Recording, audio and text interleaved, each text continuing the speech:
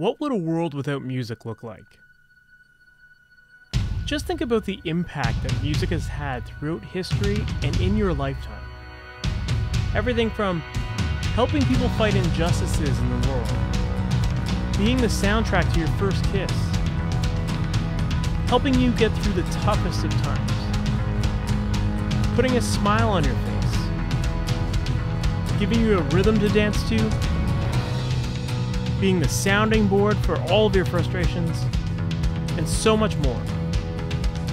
Music isn't just a noise or a sound, it's a feeling, it's an emotion. It allows us to connect to the outside world.